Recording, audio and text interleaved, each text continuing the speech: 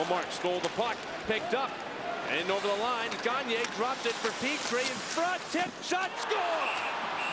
No goal, Michael. Oh, wait a minute. Is it a Yep. goaltender interference play? Yep.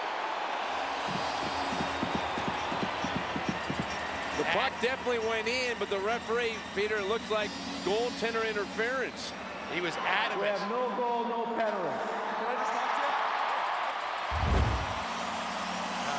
The play. Wow, Mike. Well, where's the call, Peter? What are, what are they looking at here? That Gagner wouldn't let... Yep. Ah. It- it- it's not going to be a penalty. It's just that when Gagner goes right there and he went first, he was not pushed Oh, by Landeskog. They're saying that Varlamov could not get back ooh Peter. I think Vans might have got a break there.